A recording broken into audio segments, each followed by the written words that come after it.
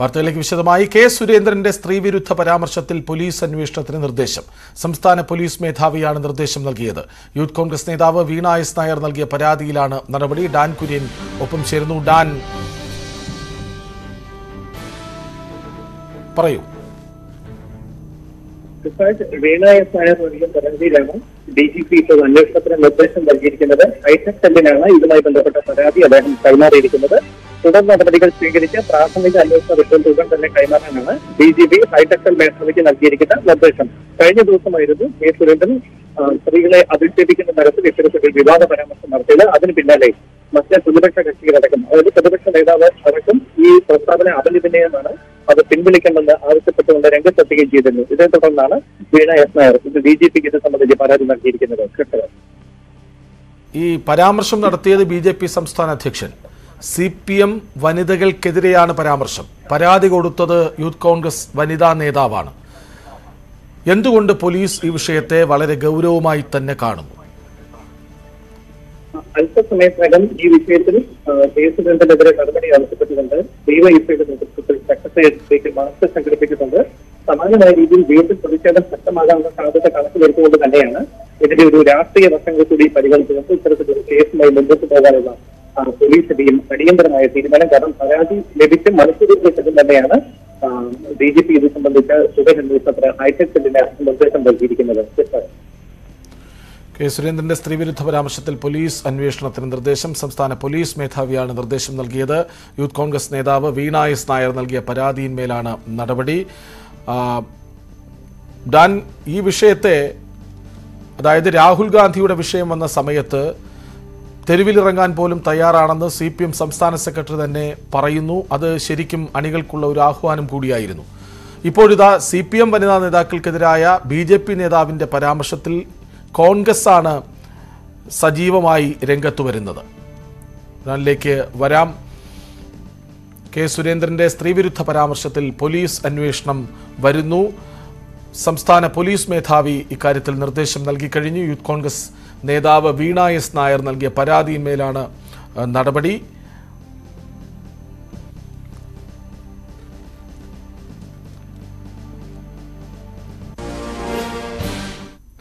ഈ വിവാദത്തിലേക്ക് കാരണമായ പ്രസംഗത്തിന്റെക്കുള്ള ഒരു റിപ്പോർട്ടിലേക്കാണ് നമുക്കിനി പോകാനുള്ളത്. സി പി എമ്മിലെ സ്ത്രീകളെ അധിക്ഷേപിച്ച ബി ജെ പി സംസ്ഥാന അധ്യക്ഷൻ കെ സുരേന്ദ്രനെതിരെ വിമർശനം ശക്തമാകുന്നു. കെ പി സി സി അധ്യക്ഷനും പ്രതിപക്ഷ നേതാവുമാണ് സുരേന്ദ്രനെ ശക്തമായ വിമർശിച്ച് രംഗത്തെത്തിയത്. സി പി എം നേതൃത്വം ശക്തമായ നിലപാട് സ്വീകരിക്കാൻ എന്തുകൊണ്ട് തയ്യാറാകുന്നില്ലെന്ന് പ്രതിപക്ഷം ചോദിക്കുന്നു. മാർക്സിസ്റ്റ് പാർട്ടിയിലെ വനിതാ നേതാക്കന്മാരെല്ലാം തടിച്ചു കൊഴുത്തു നല്ല കാശടിച്ചു മാറ്റി താടിച്ച് കൊഴുത്ത് അങ്ങനെ പൂതനകളായ അവർ കേരളത്തിലെ സ്ത്രീകളെ കളിയാക്കിക്കൊണ്ടിരിക്കുകയാണ്. ബി ജെ പി നേതാവ് ശോഭാ സുരേന്ദ്രന്റെ സാന്നിധ്യത്തിൽ അവരെ പരോക്ഷമായി പരിഹസിച്ച വേദിയിൽ തന്നെയായിരുന്നു സി പി എമ്മിലെ സ്ത്രീകൾക്കെതിരെയുള്ള കെ സുരേന്ദ്രന്റെ മോശം പരാമർശങ്ങളും. കെ പി സി അധ്യക്ഷൻ കെ സുധാകരനാണ് ബി ജെ പി നേതാവിനെതിരെ രൂക്ഷ വിമർശനവുമായി ആദ്യം രംഗത്തെത്തിയത്. പിന്നാലെ പ്രതിപക്ഷ നേതാവും. ഇരു നേതാക്കളും സി പി എമ്മിന്റെ ഇക്കാര്യത്തിലെ മൗനത്തെയും ചോദ്യം ചെയ്യുന്നു. കേരളത്തിൽ ഒരു രാഷ്ട്രീയ നേതാവും ചെയ്യാത്ത തരത്തിലെ സ്ത്രീകളോടുള്ള അധിക്ഷേപമാണ്. പൂർണമായ അധിക്ഷേപമാണ്. എന്നെ അത്ഭുതപ്പെടുത്തുന്നത് ഒരു സി പി എം നേതാവും അതിനോട് പ്രതികരിച്ചില്ല എന്നുള്ളതാണ്. സി പി എം അനുകൂല സാമൂഹിക മാധ്യമ പ്രൊഫൈലുകളിൽ സുരേന്ദ്രനെതിരെ ഇന്നലെ തന്നെ വിമർശന പോസ്റ്റുകൾ നിറഞ്ഞു. എന്നാൽ നേതാക്കളാരും പ്രതികരിച്ചിരുന്നില്ല. ഇന്ന് ആദ്യ പ്രതികരണമുണ്ടായത് സി പി എം കേന്ദ്ര കമ്മിറ്റി അംഗവും ജനാധിപത്യ മഹിളാ അസോസിയേഷൻ ദേശീയ അധ്യക്ഷയുമായ പി കെ ശ്രീമതി നിന്നാണ്. അതും ഫേസ്ബുക്കിലെ പരോക്ഷ വിമർശനത്തിൽ ഒതുങ്ങി. എന്തുകൊണ്ട് ഇക്കാര്യത്തിൽ സി പി എമ്മിന് മൗനം എന്ന ചോദ്യത്തിന് ഇതായിരുന്നു സി പി എം സംസ്ഥാന സെക്രട്ടേറിയറ്റ് അംഗം കൂടിയായ മുഹമ്മദ് റിയാസിന്റെ മറുപടി. അത് ഓരോരുത്തരുടെ സംസ്കാരവും നിലവാരവുമാണ് അതുമായി ബന്ധപ്പെട്ട നമ്മൾ കാണേണ്ടത്. അത് ആ പ്രസ്ഥാനത്തിന്റെ നിലവാരവുമായി ബന്ധപ്പെട്ടുകൊണ്ട് അവർ തന്നെ പരിശോധിച്ച് മുന്നോട്ട് പോകേണ്ട കാര്യങ്ങളാണ്. സി പി എം സംസ്ഥാന സെക്രട്ടേറിയറ്റോ സംസ്ഥാന സെക്രട്ടറിയോ ഇതുവരെ വിഷയത്തിൽ പ്രതികരിച്ചിട്ടില്ല. സുരേന്ദ്രനെതിരെ നിയമ നടപടി വേണമെന്ന ആവശ്യം ശക്തമാകുമ്പോഴും അത്തരം നീക്കങ്ങൾ സർക്കാരിന്റെ ഭാഗത്തുനിന്നും ഉണ്ടായിട്ടില്ല. News eighteen Thiruvananthapuram. കെ സുരേന്ദ്രന്റെ സ്ത്രീവിരുദ്ധ പരാമർശമാണ് വിവാദമായത്. അതിന്മേൽ പോലീസ് അന്വേഷണം വരികയാണ്. സംസ്ഥാന പോലീസ് മേധാവി യൂത്ത് കോൺഗ്രസ് നേതാവ് വീണ എസ് നായരുടെ പരാതിയിന്മേൽ നടപടിയെടുക്കുന്നു. ഇപ്പോൾ ഈ വിഷയത്തിൽ പ്രതികരിക്കാൻ കോൺഗ്രസ് നേതാവ് ബിന്ദു കൃഷ്ണ നമുക്കൊപ്പം ചേരുന്നുണ്ട്. ബിന്ദു കൃഷ്ണ യൂത്ത് കോൺഗ്രസ് നേതാവാണ് പരാതി നൽകിയത്. എന്തുകൊണ്ടാണ് യൂത്ത് കോൺഗ്രസിന്റെ ഒരു വനിതാ നേതാവ് ഈ വിഷയത്തെ ഇത്രയേറിയ ഗൗരവമായ ഒരു വിഷയമാക്കി കണ്ടത്? മറ്റൊരു പാർട്ടിയിലെ വനിതകളെക്കുറിച്ചാണ് പറഞ്ഞതെങ്കിൽ പോലും.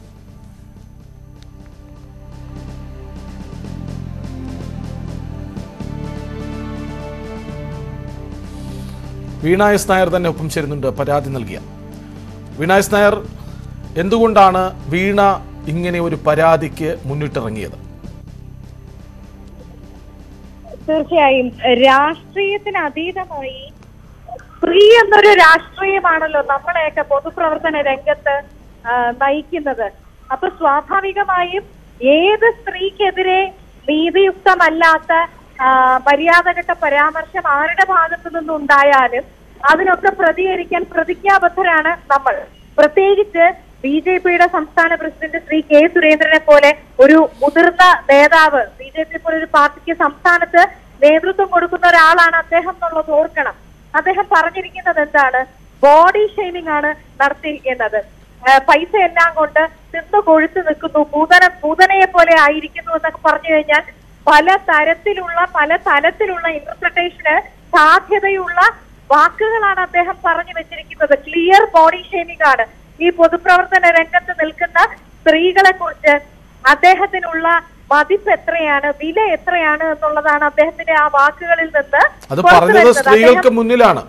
അത് പറഞ്ഞത് സ്ത്രീകൾക്ക് മുന്നിലാണ്. അതെ പറഞ്ഞത് സ്ത്രീകൾക്ക് നിർഭാഗ്യവശാൽ അതിൽ ഒരു സ്ത്രീ പോലും അദ്ദേഹത്തെ തിരുത്താനോ അല്ലെങ്കിൽ തുറന്ന ഒരു ചർച്ചയ്ക്ക് ഈ വിഷയത്തെ വിധേയമാക്കാനോ ഇവരെ കൊണ്ട് സാധിക്കില്ല എന്നുള്ളിടത്താണ് ബി ജെ പിയിലെ സ്ത്രീകൾ എത്ര വലിയ പരാജയമാണെന്നുള്ളത് നമ്മൾ മനസ്സിലാക്കേണ്ടത്. ഇപ്പൊ നമ്മുടെ ഒരു നേതാവ് ഒരു പറഞ്ഞ കാര്യം തെറ്റാണ് എങ്കിൽ അദ്ദേഹത്തോട് സ്വകാര്യമായെങ്കിലും ഈ ബി ജെ പിയിലെ സ്ത്രീകളെല്ലാം പരാജയമാണ് എന്ന് പറയുന്നത് മറ്റൊരർത്ഥത്തിൽ അല്ല ഞാൻ നിങ്ങൾ അതിനെ അതിനെ ആ രീതിയിൽ ജനറലൈസ് ചെയ്യരുത്. ഈ ഒറ്റ സ്റ്റേറ്റ്മെന്റിന്റെ അടിസ്ഥാനത്തിലാണ് ഞാൻ പറയുന്നത്. ഞാൻ ഒരു സ്ത്രീ എന്നുള്ള നിലയ്ക്ക് സ്ത്രീകളുടെ അവകാശങ്ങൾക്കും മാന്യതയ്ക്കും വേണ്ടി പോരാടുന്ന വ്യക്തി എന്നുള്ള നിലയ്ക്കാണ് ഞാൻ പറയുന്നത്. സ്വന്തം പാർട്ടിക്കുള്ളിൽ ഇത്തരത്തിൽ ഒരു സ്ത്രീകളെ അധിക്ഷേപിക്കുന്ന തരത്തിലുള്ള ഒരു സ്റ്റേറ്റ്മെന്റ് സംസ്ഥാന പ്രസിഡന്റിന്റെ ഭാഗത്തു നിന്ന് വരുമ്പോ മഹിളാ മോർച്ചയുടെ സംസ്ഥാന പ്രസിഡന്റ് അടക്കമുള്ളവർ അദ്ദേഹത്തെ നേതാവിനെ വിളിച്ച് താങ്കൾ പറഞ്ഞത് ശരിയല്ല എന്ന് സ്വകാര്യമായെങ്കിലും പറയാനും അദ്ദേഹത്തെ കൊണ്ട് അത് തിരുത്തിക്കാൻ വേണ്ട നടപടികൾ എടുക്കാനും അവർ തയ്യാറാകണമെന്ന് ആയിരുന്നു. അപ്പോ മറ്റൊരു രാഷ്ട്രീയ പ്രസ്ഥാനത്തിലെ സ്ത്രീയെ ഈ സ്ത്രീകളെ ഏത് തരത്തിൽ അധിക്ഷേപിച്ചാലും അതിനെ മൂകസാക്ഷികളായി നിന്നുകൊണ്ട് അതിന് എല്ലാ പിന്തുണയും നൽകുന്നതാണോ ശരി എന്നുള്ളതാണ് എന്റെ ചോദ്യം. അതിന് തീർച്ചയായും നിങ്ങൾ ഒരു കാരണവശാലും വളച്ചൊടിക്കരുത്. എന്റെ സ്റ്റേറ്റ്മെന്റ് വളരെ ശരി വീണ ഈ വീണ വിശാലമായ ഒരു സ്ത്രീ രാഷ്ട്രീയ പക്ഷത്ത് നിന്നാണ് സംസാരിക്കുന്നത്. മുൻപ് എത്രയോ വട്ടം കെ സുധാകരൻ മുല്ലപ്പള്ളി രാമചന്ദ്രൻ അടക്കം സ്ത്രീവിരുദ്ധമെന്ന് വിവാദമായ പല പ്രസ്താവനകളും നടത്തിയിട്ടുണ്ട്. ഇനി ഇതുവരെയുള്ളത് പോട്ടെ. ഇനി സ്വന്തം പക്ഷത്ത് നിന്ന് സ്ത്രീകൾക്കെതിരെ ഇങ്ങനെ ഒരു വിവാദ പരാമർശങ്ങൾ ഉണ്ടായാലും വീണ പ്രതികരിക്കുമോ? തീർച്ചയായും ഏത് പക്ഷത്ത് നിന്നും കാരണം നിങ്ങൾ ഓർക്കുക നമ്മുടെ രാജ്യത്ത് സ്ത്രീകളടക്കം നേരിടുന്ന വലിയ പ്രശ്നങ്ങളുണ്ട്. ഇപ്പൊ ബിൽക്കിസ് ബാനുവിന്റെ കേസ് അടക്കം വന്ന കേസുമായിട്ട് ബന്ധപ്പെട്ട് വരുന്ന വാർത്തകളൊക്കെ നിങ്ങൾ കാണുന്നുണ്ടല്ലോ. അപ്പൊ സ്ത്രീ സുരക്ഷ എന്നുള്ള പേര് പറഞ്ഞ് അധികാരത്തിൽ വരുന്നവരാരും ഒരു സ്ത്രീക്കും സംരക്ഷണം നൽകുന്നില്ല. ആ ഗത്യന്തരമില്ലാത്ത അവസ്ഥയിൽ നിൽക്കുന്ന സ്ത്രീകളുടെ എന്താണ് അവർക്ക് കൂടി വേണ്ടി ശബ്ദിക്കാനാണ് ഞങ്ങളൊക്കെ പൊതുപ്രവർത്തന ശരി വീണ ഞാൻ മടങ്ങി വരാം. വീണ ദയവായി തുടരണം. ഇപ്പോൾ കോൺഗ്രസ് നേതാവ് ബിന്ദു കൃഷ്ണയും ഇടതു നിരീക്ഷകൻ അൻവർഷ അൻവർ ഷാ പാലോടുമുണ്ട്. ബിന്ദു കൃഷ്ണ ഒരു വീണ പറഞ്ഞത് കേട്ടിട്ടുണ്ടാകുമെന്ന് കരുതുന്നു. അതായത് വീണ ഒരു പരാതിക്കായി മുന്നിട്ടിറങ്ങിയത് ഇതൊരു സ്ത്രീപക്ഷ രാഷ്ട്രീയത്തിന്റെ വക്താവ് എന്ന നിലയ്ക്കാണ്. അതിൽ രാഷ്ട്രീയമില്ല സ്ത്രീ എന്ന രാഷ്ട്രീയമുണ്ട് താനും. ആ നിലയ്ക്ക് തന്നെയാണോ ബിന്ദു കൃഷ്ണയും ഈ സംഭവത്തെ നോക്കിക്കാണുന്നത്? അൻവർ ഷാ വരാം. അൻവർ ഷാ ഈ സി പി എം നേതാക്കൾ ആരും സി പി എം വനിതാ നേതാക്കളെ ആകെ ബി ജെ പി അധ്യക്ഷൻ അടച്ചാക്ഷേപിച്ചിട്ടും പ്രതികരിക്കാൻ തയ്യാറായി മുന്നോട്ട് വന്നിരുന്നില്ല. ഇന്ന് വാർത്താ സമ്മേളനത്തിനിടെ ഒരു ചോദ്യം മാധ്യമപ്രവർത്തകർ ചോദിക്കുന്നു. എന്തുകൊണ്ട് പ്രതികരിക്കുന്നില്ല എന്ന്. അത് ബി ജെ പിയുടെ സംസ്കാരമാണെന്ന് പറഞ്ഞു പോവുകയാണ് മന്ത്രി മുഹമ്മദ് റിയാസ്. എന്തുകൊണ്ടാവും പ്രതികരണം ഇടതുപക്ഷത്തിന്റെ ഭാഗത്ത് നിന്ന് സജീവമായി ഉണ്ടാകാത്തത്? അല്ല ഇത് നമ്മൾ മനസ്സിലാക്കേണ്ട പ്രധാനപ്പെട്ട കാര്യം കഴിഞ്ഞ ദിവസം നമ്മുടെ മുൻ എം പിയും അതോടൊപ്പം തന്നെ സിനിമ മേഖലയിൽ ചലച്ചിത്രകാരനുമായിട്ടുള്ള നമ്മുടെ ഇന്നസെന്റ് അദ്ദേഹം വിട്ടുപിരിഞ്ഞു. അദ്ദേഹത്തിന്റെ മരണാനന്തര ചടങ്ങുമായി ബന്ധപ്പെട്ടൊക്കെ തന്നെ സി പി എമ്മിന്റെ നേതാക്കന്മാരും അല്ലെങ്കിൽ ഈ പറയുന്ന സി പി എമ്മിന്റെ സംഘടനാ സംവിധാനമൊക്കെ ഈ പറയുന്ന ചാലക്കുടി കേന്ദ്രീകരിച്ച് അദ്ദേഹത്തിന്റെ ആ സംസ്കാര ചടങ്ങിലായിരുന്നു. അതിനുശേഷമാണ് ഞാൻ മനസ്സിലാക്കിയത് ഇന്നിപ്പോ ഡിവൈഎഫ്ഐയുടെ സംസ്ഥാന സെക്രട്ടറി സഖാവ് വി കെ സനോജ് ഇതുമായി ബന്ധപ്പെട്ട വാർത്താ കുറിപ്പ് അല്ലെങ്കിൽ ഈ പറയുന്ന വാർത്താ സമ്മേളനം നടത്തിയിട്ടുണ്ട്. അതിന്റെ അടിസ്ഥാനത്തിൽ ഈ നിയമ നടപടിയുമായി മുന്നോട്ട് പോകും എന്നതാണ് പറഞ്ഞേക്കുന്നത്. ഈ സ്ത്രീ സി പി എമ്മിനകത്തുള്ള സ്ത്രീകളോ അല്ലെങ്കിൽ കോൺഗ്രസിനകത്തുള്ള സ്ത്രീകളോ ഏത് സ്ത്രീകൾക്കെതിരായിട്ടും ഈ രീതിയിലുള്ള വർത്തമാനം ബി ജെ പി സംസ്ഥാന അധ്യക്ഷന്റെ ഭാഗത്തു നിന്ന് ഉണ്ടായിക്കഴിഞ്ഞാൽ ഉറപ്പായിട്ടും നിയമ നടപടി സ്വീകരിക്കുക തന്നെ ചെയ്യും. അതോടൊപ്പം തന്നെ അതിനെ രാഷ്ട്രീയപരമായി നേരിടും. നമുക്കറിയാം കേരളത്തിലെ രണ്ട് നിയമസഭാ മണ്ഡലങ്ങളിൽ മത്സരിച്ച ഒരു വ്യക്തിയാണ്. അപ്പൊ അദ്ദേഹം സ്ത്രീകളുടെ വോട്ടും കൂടി നേടാൻ വേണ്ടിയിട്ടാണല്ലോ മത്സരിച്ചിരിക്കുന്നത്. അല്ലാതെ പുരുഷന്മാരുടെ വോട്ടിന് വേണ്ടിയിട്ട് മാത്രമല്ല. അപ്പൊ ഇങ്ങനെയുള്ള ഈ ഒരു പൊളിറ്റിക്കലായിട്ടുള്ള മെച്ചർ ആയിട്ടുള്ള പ്രതികരണം നടത്തേണ്ട ഒരു ബി ജെ പിയുടെ സംസ്ഥാന പ്രസിഡന്റ് സ്ത്രീകൾക്കെതിരായിട്ട് അത് സി സി പി എമ്മിന്റെ വനിതാ പ്രവർത്തകരൊക്കെ തന്നെ തടിച്ചു കൊടുത്ത പൂതനകളാണ് എന്ന് പറയുമ്പോൾ തന്നെ നമുക്കറിയാമല്ലോ. ഇതൊരു ഒരിക്കലും അംഗീകരിക്കാൻ കഴിയാത്ത ഇമ്മച്ചുവർ ആയിട്ടുള്ള അദ്ദേഹം അദ്ദേഹം അദ്ദേഹം മനസ്സിലാക്കേണ്ടത് ആ വേദിയിൽ നിറയെ സ്ത്രീകളായിരുന്നു. ബി ജെ പിയുടെ സംസ്ഥാന തലത്തിൽ തന്നെ പ്രവർത്തിക്കുന്ന ശരി ഞാൻ മടങ്ങി വരാം. അൻ- അൻവർ ഷാ തുടരണം. ഇപ്പോൾ കോൺഗ്രസ് നേതാവ് വി ടി ബൽറാം നമുക്കൊപ്പമുണ്ട്. ബൽറാം മറ്റൊരു രാഷ്ട്രീയ കക്ഷിയിലെ നേതാവ് അധ്യക്ഷൻ സി പി എം വനിതകളെ കുറ്റപ്പെടുത്തിയത് കോൺഗ്രസ് എന്തുകൊണ്ട് ഏറ്റെടുക്കുന്നു? ശ്രീ കെ സുരേന്ദ്രൻ എന്ന് പറയുന്നത് കേവലം ഏതെങ്കിലും ഒരു പ്രാദേശിക പാർട്ടിയുടെ ലോക്കൽ നേതാവല്ല. ഇന്ത്യ ഭരിക്കുന്ന പാർട്ടിയുടെ കേരളത്തിലെ സംസ്ഥാന അധ്യക്ഷനാണ്. അദ്ദേഹത്തിന് കേരളീയ സമൂഹത്തിൽ വലിയ സ്വാധീനമോ അദ്ദേഹത്തിന്റെ വാക്കുകൾക്ക് ആ നിലയിലുള്ള ഗൗരവമോ ഒന്നും കൽപ്പിക്കുന്നില്ലെങ്കിലും ഇന്ത്യ ഭരിക്കുന്ന ഒരു പാർട്ടിയുടെ കേരളത്തിലെ ഏറ്റവും പ്രധാനപ്പെട്ട നേതാവ് എന്ന നിലയിൽ ആ പദവിയിൽ ഇരുന്നുകൊണ്ട് ശ്രീ കെ സുരേന്ദ്രൻ നടത്തിയ പരാമർശം അങ്ങേയറ്റം അധിക്ഷേപ സ്വഭാവത്തിലുള്ളതാണ് എന്ന് ഏതൊരാൾക്കും അറിയാവുന്ന കാര്യമാണ്. സി പി എമ്മിലെ വനിതകൾ എന്ന് പറയുമ്പോൾ അത് ഒന്നും രണ്ടും ആളുകളല്ലല്ലോ. സി പി എമ്മിന് കേരളത്തിൽ വനിതകൾക്കിടയിൽ നല്ല സ്വാധീനമുള്ള ഒരു പാർട്ടിയാണല്ലോ.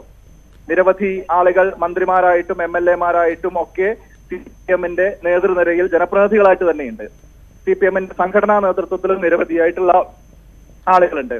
മേയർമാരായിട്ടും തദ്ദേശ സ്വയംഭരണ സ്ഥാപനങ്ങളുടെ നേതൃപദവിയിലും ഒക്കെ സി പി എമ്മിൽ നിരവധി സ്ത്രീകൾ പ്രവർത്തിക്കുന്നുണ്ട്. ജനപ്രതിനിധികളായി തദ്ദേശ സ്വയംഭരണ സ്ഥാപനങ്ങളിൽ നിരവധി സ്ത്രീകൾ പ്രവർത്തിക്കുന്നുണ്ട്. ഇതൊന്നുമല്ലാത്ത സി പി എമ്മിന്റെ പാർട്ടി പ്രവർത്തകരായിട്ടുള്ള നിരവധി സ്ത്രീകളുണ്ട്. സി പി എം അനുഭാവികളായിട്ട് നിൽക്കുന്ന ആളുകളുണ്ട്. മാധ്യമരംഗത്ത് നിന്ന് നിരവധി സ്ത്രീകൾ സി പി എമ്മിനെ പിന്തുണയ്ക്കുന്നുണ്ട്. എഴുത്തിന്റെ മേഖലയിൽ നിന്ന് സാംസ്കാരിക മേഖലയിൽ നിന്ന് നിരവധി ആളുകൾ മറ്റു പല വിഷയങ്ങളിലും സി പി എമ്മിന് അനുകൂലമായി പ്രസ്താവനകൾ ഇറക്കിയും മറ്റും രംഗത്ത് വരുന്നത് നാം ശ്രദ്ധിച്ചിട്ടുണ്ട്. സി പി എമ്മിന് വോട്ട് ചെയ്ത നിരവധിയായിട്ടുള്ള സ്ത്രീകൾ കേരളത്തിലുണ്ട്.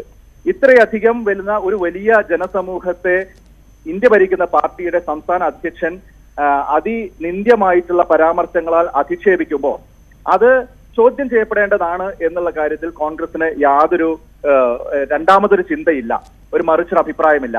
എന്തുകൊണ്ട് സി പി എമ്മിലെ ഈ പറഞ്ഞ കാറ്റഗറിയിൽപ്പെട്ട പതിനായിരക്കണക്കിന് നേതാക്കന്മാർ സ്ത്രീകളായിട്ടുണ്ടായിട്ടും അവർ പ്രതികരിക്കുന്നില്ല എന്നുള്ളത് അവരോട് ചോദിക്കേണ്ട ചോദ്യമാണ്. യഥാർത്ഥത്തിൽ ഇത് സ്ത്രീകൾ മാത്രം പ്രതികരിക്കേണ്ട ഒരു ഇഷ്യൂ അല്ലല്ലോ. സി പി എമ്മിനകത്തെ മറ്റ് നേതാക്കന്മാർ എല്ലാവരും തന്നെ പ്രതികരിക്കേണ്ട ഒരു വിഷയമാണ്. പക്ഷെ ഈ സംഭവം ഉണ്ടായി ഞങ്ങളടക്കം എതിർ രാഷ്ട്രീയ ചേരിയിൽ നിൽക്കുന്ന നിരവധി ആളുകൾ ഇതിനെക്കുറിച്ച് പ്രതികരണങ്ങൾ അറിയിച്ചിട്ടും കെ പി സി സിയുടെ പ്രസിഡന്റും പ്രതിപക്ഷ നേതാവും അടക്കമുള്ള ആളുകൾ ഇതിനെക്കുറിച്ച് പ്രതികരിച്ചിട്ടും സി പി എമ്മിൽ നിന്ന് മാത്രം ഇപ്പൊ ഈ അടുത്ത നിമിഷം വരെ ആ നിലയിലുള്ള ഒരു പ്രതികരണമൊന്നും നമ്മൾ കണ്ടില്ല. ഇന്നാണ് മൂന്നാമത്തെ ദിവസമാണ് സി പി എമ്മിൽ നിന്ന് അങ്ങനെ അതിനവർ കാരണമായി പറയുന്നത് ഇന്നസെന്റിന്റെ മരണമാണ്. നേതാക്കൾ പലരും അവിടെയായിരുന്നു എന്നാണ് കാരണമായി പറയുന്നത്. അല്ല അവർ കാരണം പറഞ്ഞോട്ടെ. അവരിങ്ങനെ കാരണം പറഞ്ഞോട്ടെ. വിജിബൽ റാം ഞാൻ എന്നോട് ഒന്നുകൂടി ചോദിച്ചോട്ടെ? അതായത് ഈ രാഹുൽ ഗാന്ധി അയോഗ്യനാക്കപ്പെടുമ്പോൾ തെരുവിലിറങ്ങാനും ഞങ്ങൾ തയ്യാറാണെന്ന് ഉറക്കെ വിളിച്ചു പറഞ്ഞു സി പി എം സംസ്ഥാന സെക്രട്ടറി എം വി ഗോവിന്ദൻ. ഇപ്പോൾ സി പി എം വനിതകൾക്ക് ഒരു പ്രതിസന്ധി നേരിട്ടപ്പോൾ അല്ലെങ്കിൽ സി പി എം വനിതകളുടെ മുഖത്ത് നോക്കി കെ സുരേന്ദ്രൻ അധിക്ഷേപം ചൊരിയുമ്പോൾ അത് കോൺഗ്രസ് ഏറ്റെടുക്കുന്നു. ഇതൊരു നല്ല തുടക്കമാണ്. ഇല്ല ഞങ്ങളുടെ ഭാഗത്ത് നിന്ന് ഈ വിഷയത്തെ സി പി എമ്മിലെ വനിതകളുടെ മാത്രം വിഷയമായിട്ടല്ല കാണുന്നത് എന്നാണ് ഞാൻ പറഞ്ഞത്. സി പി എം തിരിച്ച് രാഹുൽ ഗാന്ധിയുടെ വിഷയത്തിൽ ഏത് തരത്തിലുള്ള നിലപാടാണ് എടുത്തത് എന്നുള്ളത് നമ്മൾ കാണുന്നതാണ്. ആദ്യ ദിവസം രാഹുൽ ഗാന്ധിക്ക് അനുകൂലമായിട്ടുള്ള നിലപാടെടുത്തു രണ്ടാമത്തെ ദിവസമായിട്ടും പറഞ്ഞു രാഹുൽ ഗാന്ധിക്ക് അനുകൂലമായിട്ടുള്ള നിലപാടല്ല മറിച്ച് ഒരു നിലപാടാണ് എന്ന് പറഞ്ഞു. രാഹുൽ ഗാന്ധിയുടെ ഇപ്പോൾ സൃഷ്ടിക്കപ്പെട്ടിരിക്കുന്ന ഇവർ ഓർക്ക- ഓർക്കസ്ട്രേറ്റ് ചെയ്ത് ഉണ്ടാക്കിയെടുത്തിരിക്കുന്ന അയോഗ്യതയുടെ പശ്ചാത്തലത്തിൽ അവിടെ ഒരു ഉപതെരഞ്ഞെടുപ്പ് വരികയാണെങ്കിൽ അവിടെ സ്വന്തം സ്ഥാനാർത്ഥിയെ നിർത്തും എന്ന് പറഞ്ഞു.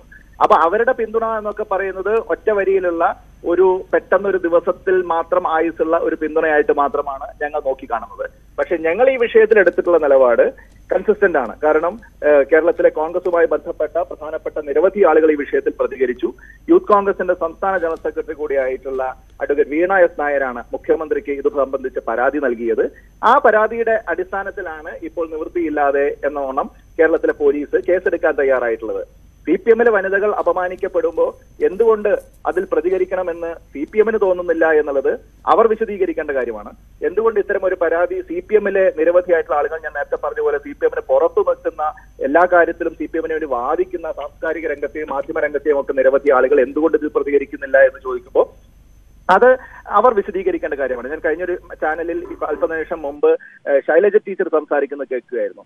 അവർ പറയുന്നത് ഞങ്ങളുടെ കൂട്ടത്തിലുള്ള സ്ത്രീകളെ അപമാനിച്ചാൽ ഞങ്ങളുടെ വേറെ ആളുകളൊക്കെ പ്രതികരിക്കുന്നുണ്ടല്ലോ എന്നൊക്കെയാണ് അവർ പറയുന്നത്. അവർ പോലും ബി ജെ പിയുടെ ഒരു വിഷയം വരുമ്പോൾ ബി ജെ പി നേതാക്കന്മാർക്കെതിരെ പ്രതികരിക്കേണ്ട ഒരു വിഷയം വരുമ്പോൾ ഇങ്ങനെയാണ് പ്രതികരിക്കുന്നത് എന്നുള്ളത് അവർ തെളിയിക്കുകയാണ്. അവരുടെ അതായത് നിങ്ങൾ ഈ രാഷ്ട്രീയത്തിനപ്പുറം വിശാലമായൊരു സ്ത്രീപക്ഷ രാഷ്ട്രീയം വീണ തന്നെ പറഞ്ഞതുപോലെ നിങ്ങൾ കാണുന്നു. തീർച്ചയായിട്ടും അത് ഇതുപോലെയുള്ള സാഹചര്യങ്ങൾ ഉണ്ടാവേണ്ടതായിട്ടുണ്ട്.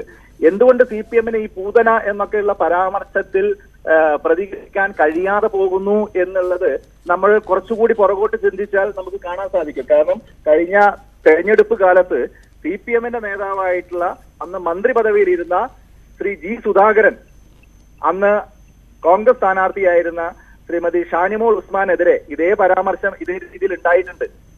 അന്ന് അതിനെയൊക്കെ ന്യായീകരിക്കുകയായിരുന്നു സി പി എമ്മുകാര്. സുധാകരൻ പൂതന എന്ന് വിളിച്ചതിൽ അധിക്ഷേപപരമായിട്ടൊന്നുമില്ല എന്ന് പറഞ്ഞ് ന്യായീകരിക്കുകയായിരുന്നു. ഒരുപക്ഷെ അതുകൊണ്ടായിരിക്കാം ഇപ്പോൾ സുരേന്ദ്രനും ആ നിലയിൽ സി പി എമ്മിനെതിരെ അതേ പദങ്ങളൊക്കെ ഉപയോഗിക്കുമ്പോൾ അതിൽ പ്രതികരിക്കാൻ സി പി എമ്മിന്റെ നേതാക്കന്മാർക്ക് കഴിയാതെ പോകുന്നത്. അപ്പോ ഇവർ അങ്ങോട്ടും ഇങ്ങോട്ടും ഉപയോഗിക്കുന്ന ഇത്തരം പരാമർശങ്ങൾ അത് കേരളീയ പൊതുസമൂഹം കാണട്ടെ. ഏതായാലും ഞങ്ങളെ സംബന്ധിച്ച് ഇന്ത്യ ഭരിക്കുന്ന പ്രധാനപ്പെട്ട രാഷ്ട്രീയ പാർട്ടിയുടെ സംസ്ഥാനത്തെ ഏറ്റവും പ്രധാനപ്പെട്ട നേതാവാണ് ഇങ്ങനെയുള്ള അധിക്ഷേപം നടത്തുന്നത് എന്ന് പറയുമ്പോൾ അത് ഏതെങ്കിലും ഒരു വിഭാഗത്തിന് നേരെയുള്ള അധിക്ഷേപമായിട്ടല്ല പൊതുവിൽ സ്ത്രീകൾക്കെതിരായിട്ടുള്ള അധിക്ഷേപമായിട്ടാണ് ഞങ്ങൾ. കാണുന്നത്.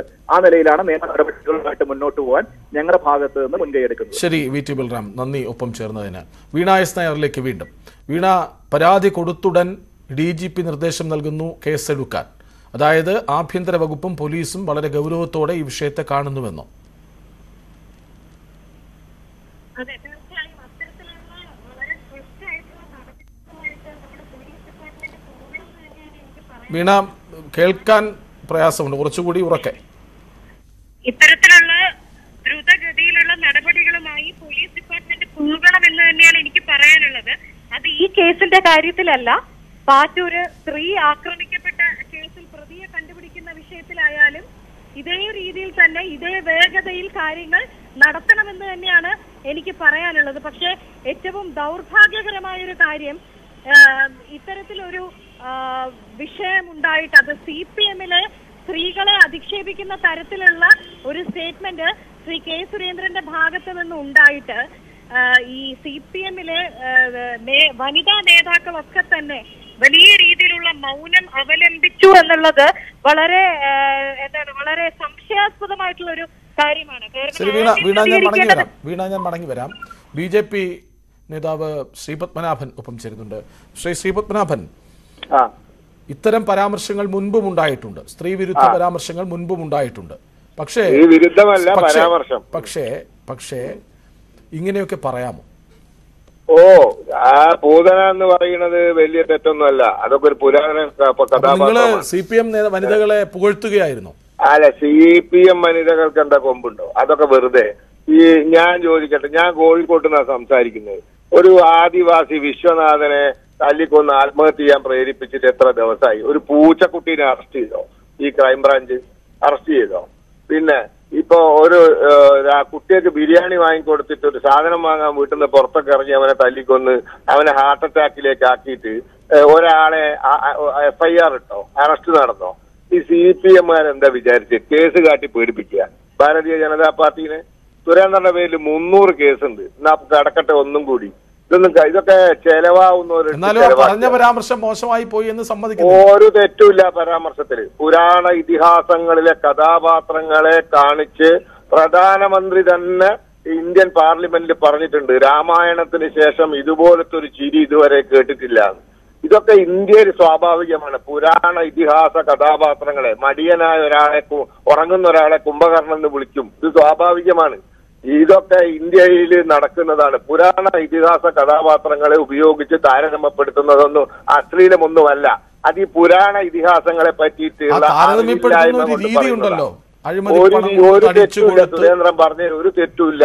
അത് ഈ പുരാണ ഇതിഹാസങ്ങളിലുള്ള അജ്ഞത കൊണ്ടാണ് ഇങ്ങനെ ഒക്കെ പറയുന്നത്. അതുകൊണ്ട് കേസൊക്കെ എടുത്തോട്ടെ. നമുക്ക് കോടതിയിൽ നിന്ന് കാണാം. അത്രേ ഉള്ളൂ. അങ്ങനെ പറഞ്ഞ് കളയേണ്ട ഒരു വിഷയം മാത്രമാണോ? കേസ് വന്നാൽ സ്വാഭാവികമായും കേസ് നേരിടുക. നിയമപരമായി നേരിടുക എന്നുള്ളത് മാത്രമാണ്.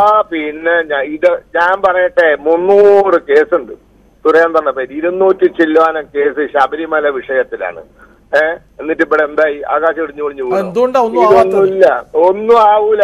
ഒരു ചുക്കും ആവൂല? നിയമപ്രകാരം നിലനിൽക്കാത്ത കേസ് പോലീസിന്റെ അത് നിയമപ്രകാരം കേസുകൾ എടുത്താൽ അതുകൊണ്ടുണ്ടാവുന്ന നഷ്ടം പോലീസിന് കുറെ കടലാസ് മഷിയും പോവും. അതന്നെ നഷ്ടം. വേറൊരു ചുക്ക് സംഭവിക്കില്ല. പോലീസ് ഡിപ്പാർട്ട്മെന്റ് കുറെ കടലാസും മഷി പോവും. അത്ര തന്നെ. വേറെ. ഞാനൊന്ന് പറഞ്ഞോട്ടെ. ഇതിപ്പോൾ മുൻപ് ജി സുധാകരൻ സമാനമായ ഒരു പരാമർശം നടത്തിയിട്ടുണ്ട്. അന്ന് വലിയ വിവാദമായി. ഒരുപക്ഷെ ഷാനിമോൾ ഉസ്മാനെ അത് തെരഞ്ഞെടുപ്പിൽ ഒരുപാട് സഹായിക്കുകയും ചെയ്തിട്ടുണ്ട്. മറുവശത്ത് കെ സുധാകരൻ പലവട്ടം പറഞ്ഞിട്ടുണ്ട് മുല്ലപ്പള്ളി രാമേന്ദ്രൻ പോലും കെ കെ ശൈലജ ടീച്ചർക്കെതിരെ മന്ത്രിയായിരുന്ന സമയത്ത് ഒരു പരാമർശം നടത്തി. അങ്ങനെ എം എം മണി പതിവായി നടത്താറുണ്ട്. ഇതൊക്കെ സർവസാധാരണമാണ് ശരി തന്നെ. പക്ഷേ ഇവരെല്ലാം ഓരോ വ്യക്തിയായി നിന്നാണ് ഇതൊക്കെ പറയുന്നത് എന്ന് ആലോചിക്കണം അങ്ങനെ സംഭവിക്കുമ്പോൾ കണ്ണുമടച്ച് പിന്തുണയ്ക്കുന്നത് ശരിയാണോ? അല്ല ഞങ്ങൾക്ക് നല്ല ധാരണയുണ്ട് ഞങ്ങൾ എന്താ പറഞ്ഞതെന്ന്. ഞങ്ങൾ പറഞ്ഞതിൽ നിയമപ്രകാരം ഒരു തെറ്റുമില്ല. കോടതിയിൽ നിലനിൽക്കാത്ത കേസാണ്. കോടതിയിൽ എത്തിയാൽ ഈ കേസ് ചുരുട്ടിക്കൂട്ടി ചവറ്റി കൊട്ടയിലേക്ക് എറിയപ്പെടും.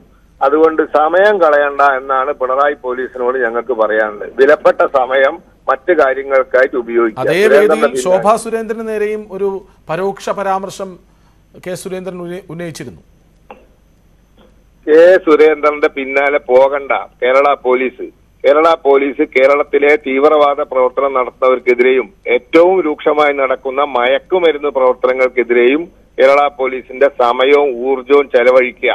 കെ. സുരേന്ദ്രന്റെയും ബി ജെ പിന്റെയും പിന്നാലെ പോകണ്ട സമയവും ഊർജവും കളയണ്ട അപ്പൊ ബി ജെ കടലാസും പിക്ക് മഷിയും ബി ജെ പിക്ക് എന്തുമാകാം ഞങ്ങൾ നേരിട്ടോളാം എന്ന ഒറ്റ വാക്കിൽ എല്ലാ പ്രശ്നവും ബി അവിടെ ജെ പി അങ്ങനെ എന്തും ചെയ്യാൻ ലൈസൻസ് ഉള്ള പാർട്ടി ഒന്നല്ല ഞങ്ങളെ പാർട്ടി കർശനമായ അച്ചടക്കമുള്ള പാർട്ടിയാണ്. എന്തും ചെയ്താൽ ചോദിക്കാൻ ആളുള്ള പാർട്ടിയാണ്.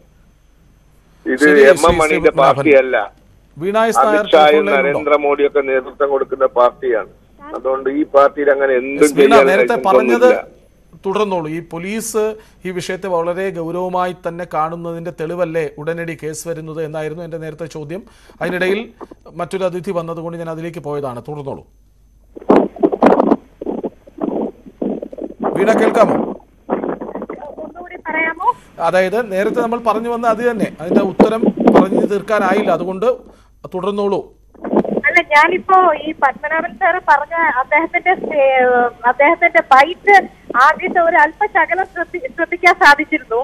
അതിൽ അദ്ദേഹം പറയുന്ന കേട്ടോ, ആ ഒരു ആ, പറഞ്ഞതിനെ അവർ പൂർണ എന്ന് മാത്രമല്ല ഇരുന്നൂറ്റി അൻപത് കേസുണ്ട് അതിന്റെ കൂടി ഒരു ഒരു കേസ് അതായത് ഈ വളരെ ലാഘവത്തോടു കൂടി ഏത് തരത്തിലാണ് അദ്ദേഹം ഇതിനെ ഡിഫെൻഡ് ചെയ്യാൻ ശ്രമിക്കുന്നത് എന്നുള്ളതാണ്. ഇത്രയും മോശപ്പെട്ട രീതിയിൽ പൊതുപ്രവർത്തകര പൊതുപ്രവർത്തന രംഗത്ത് നിൽക്കുന്ന സ്ത്രീകളെ കുറിച്ച് ബോഡി ഷെയ്മിങ് അടക്കമുള്ള ഒരു പരാമർശം നടത്തുമ്പോ അതിനെ ന്യായീകരിക്കാതിരിക്കാനുള്ള മിനിമം മര്യാദയെങ്കിലും ബി ജെ പിയുടെ മുതിർന്ന നേതാക്കൾ കാണിക്കണം എന്നുള്ള ഒരു വിനീതമായ ഒരു അഭ്യർത്ഥനയാണ് ഒരു സ്ത്രീ എന്നുള്ള നിലയിൽ അദ്ദേഹം പറയുന്നത് എന്താ? പുരാണ കഥാപാത്രങ്ങളല്ലേ? അങ്ങനെയൊക്കെ പലതും പാലോട് വീണ എസ് നായർ ശ്രീപത്മനാഭൻ എന്നിവരാണ് വി ടി ബൽറാം എന്നിവരാണ് നമുക്കൊപ്പം ഈ മിനിറ്റുകളിൽ ഒപ്പമുണ്ടായിരുന്നത്. ഏതായാലും വലിയ വിവാദം തന്നെയാണ്. അതിന്മേൽ കേസ് എടുക്കാൻ തീരുമാനിക്കുന്നു എന്നതാണ് ഏറ്റവും പുതിയ വാർത്ത. ഇടവേളയ്ക്ക് ശേഷം മടങ്ങി വരാം.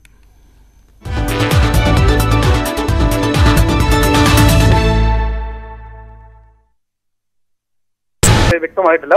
എന്തായാലും ഈ ഭാഗത്ത് വനമേഖല ആയതുകൊണ്ട് തന്നെ രക്ഷാപ്രവർത്തനം മറ്റു കാര്യങ്ങളും പുറത്തറിയുന്നതിന് അല്പം താമസമുണ്ട്. കാരണം ഈ മൊബൈൽ കവറേജും അതിന്റെ റേഞ്ചും ഇല്ലാത്തൊരു പ്രദേശം കൂടിയാണ്.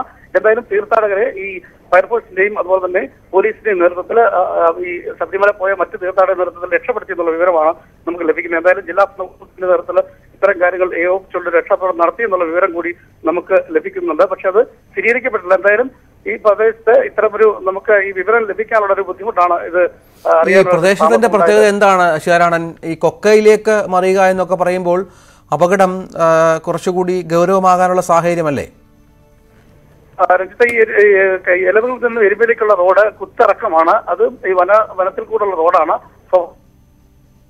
സാധ്യതയുണ്ട്. കാരണം അതുപോലുള്ള ഒരു ഒരു സ്ഥലം കൂടിയാണിത്. അതുകൊണ്ട് തന്നെ കൊക്കയിലേക്ക് ഒരുപക്ഷെ നിയന്ത്രണം പെട്ടായിരിക്കും ഏത് തരത്തിലാണ് ഈ ബസ് അപകടത്തിൽപ്പെട്ട എന്ന കാര്യത്തെ കുറിച്ച് വ്യക്തമല്ല. എന്തായാലും അറുപത്തിരണ്ട് തീർത്ഥാടകർ ഈ ബസ്സിലുണ്ട് എന്ന ഫയർഫോഴ്സിന്റെ നിന്നും നമുക്ക് അറിയാൻ കഴിയുന്നത്. അവരെ രക്ഷപ്പെടുത്തിയിട്ടുണ്ട്. ഡ്രൈവറുടെ നില അല്പം ഗുരുതരമാണ്. ഈ രക്ഷപ്പെടുത്തിയവരെ കോട്ടയം മെഡിക്കൽ കോളേജിലേക്ക് കൊണ്ടുപോയിട്ടുണ്ട് എന്നുള്ള വിവരം കൂടി നമുക്ക് ലഭിക്കുന്നുണ്ട്. എന്തായാലും അപകടം എത്ര പേരുടെ നിലയാണ് ഗുരുതരമായിട്ടുള്ളത്. ആർക്ക് ആരൊക്കെ ഉണ്ടായിരുന്നു എന്നുള്ള കാര്യത്തെ എവിടത്തുകാരാണെന്നുള്ള കാര്യത്തെ കുറിച്ചും ഇപ്പോഴും വ്യക്തതയില്ല. എന്തായാലും ഈ അറുപത്തിരണ്ട് പേരെയും ബസ്സിനുള്ളിൽ നിന്നും രക്ഷപ്പെടുത്തി എന്നുള്ള വിവരമാണ് ഫയർഫോഴ്സ് നമ്മളെ ഇപ്പോൾ അറിയിച്ചിട്ടുള്ളത്. അതായത് അറുപത്തിരണ്ട് പേരുണ്ടായിരുന്നു. ഈ അറുപത്തിരണ്ട് പേരെയും പുറത്തെത്തിച്ച് ആശുപത്രിയിലേക്ക് കൊണ്ടുപോയി. അങ്ങനെ മനസ്സിലാക്കണം അല്ലേ? അങ്ങനെയാണ് നമുക്ക് ഇപ്പോൾ നിലവിൽ ലഭിക്കുന്ന വിവരം. എന്തായാലും ഈ പ്രദേശത്തു നിന്നും ഈ വിവരങ്ങൾ ലഭിക്കാനുള്ള ബുദ്ധിമുട്ടുണ്ട്. കാരണം മൊബൈൽ റേഞ്ച് ലഭിക്കാത്തൊരു പ്രദേശമാണ്. ഈ കൂടെയുള്ള സ്വാമിമാർ ഈ ദർശനത്തിനെത്തിയ സ്വാമിമാരൊക്കെയാണ് ഈ അപകടം ആദ്യം കാണുന്നത്. അതിനുശേഷമാണ് ഇത് പുറംലോകം അറിയുന്നത്. അതിനുശേഷമാണ് പോലീസും ഫയർഫോഴ്സും ഒക്കെ ഈ സ്ഥലത്ത് രക്ഷാപ്രവർത്തനം നടത്തുന്നത് രഞ്ജിത്ത്. ഈ പ്രദേശം ശേഷം പറഞ്ഞ പോലെ അല്പം ഈ രക്ഷാപ്രവർത്തകർക്ക് എത്താൻ പ്രയാസമുള്ള ഒരു മേഖല കൂടിയാണോ? അതിന്റെ പ്രതിസന്ധി ഉണ്ടോ? അത്തരമൊരു പ്രദേശം ആണ് എന്ന് വേണമെങ്കിൽ നമുക്ക് അനുമാനിക്കാം. കാരണം നിലവിൽ നിന്ന് എരുമയിലേക്കുള്ള ഒരു കുത്ത് ഇറക്കമുള്ള റോഡാണ്. നേരത്തെ ഇത്തരം അപകടങ്ങൾ തീർത്ഥാടന സമയങ്ങളിലൊക്കെ ഈ പ്രദേശം ഉണ്ടായിട്ടുണ്ട്. അപ്പോഴും തീർത്ഥാടകർക്ക് വലിയ രീതിയിൽ പരിക്കുകളൊക്കെ പറ്റിയ സാഹചര്യം നേരത്തെ ഉണ്ട്. ആ, സ്ഥിതി വെച്ച് നോക്കുമ്പോൾ സ്വാഭാവികമായും പലർക്കും പരിക്ക് ഗുരുതരമാകാൻ സാധ്യതയുണ്ട്. പക്ഷേ നിലവിൽ അത്തരം സാഹചര്യമില്ലെന്നാണ് അനൗദികമായി നമുക്ക് ലഭിക്കുന്ന വിവരം. എന്തായാലും കൃത്യമായൊരു വിവരം നമുക്ക് ഇതുവരെ ലഭിച്ചിട്ടില്ല. എന്തായാലും ഈ തീർത്ഥാടകരെ ബസ്സിനുള്ളിൽ അപകടത്തിൽപ്പെട്ടവരെ ഈ പറഞ്ഞ ശബരിമല തീർത്ഥാടകരും അതുപോലെ തന്നെ പോലീസിന്റെയും ഫയർഫോഴ്സിന്റെയും നേതൃത്വത്തിൽ രക്ഷ ബസ്സിൽ നിന്നും പുറത്തെടുത്ത് ആശുപത്രിയിലേക്ക് മാറ്റിയിട്ടുണ്ട് എന്നുള്ളതാണ് നമുക്ക് ഫയർഫോഴ്സിന്റെ നിന്നും അവരുടെ ഔദ്യോഗിക വാട്സപ്പ് ഗ്രൂപ്പിൽ നിന്നും നമുക്ക് മനസ്സിലാക്കാൻ കഴിയുന്നത്. കാരണം ഫോൺ വിളിച്ചാൽ പോലും കിട്ടാത്ത റേഞ്ച് കിട്ടാത്ത ഒരു പ്രദേശം കൂടിയാണ്. അത്ര ഒരു ബുദ്ധിമുട്ട് കൂടി ഈ പ്രദേശത്തുണ്ട് രഞ്ജിത്ത്. അറുപത്തിരണ്ട് യാത്രക്കാർ ഈ ബസ്സിലുണ്ടായിരുന്നു തമിഴ്നാട്ടിൽ നിന്ന് തീർത്ഥാടകരാണ് എന്നാണ് മനസ്സിലാകുന്നത്. നിലയ്ക്കലിന് സമീപം ഇലമുകലിലാണ് അപകടം ഉണ്ടായത്.